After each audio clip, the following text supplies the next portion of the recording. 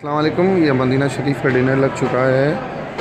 आज यहाँ पे 25 शाबान है, पाँच दिनों बाद रमज़ान है। Plate spoon tissue, toothpick, sauce,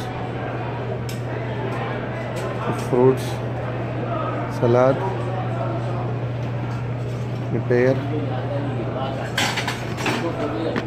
रुमाली रोटी चावल, दाल चिकन अंगारा,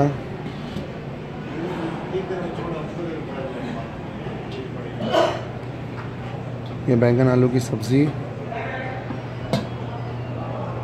बासमती राइस, और ड्राई आइटम है चिकन हंगामा।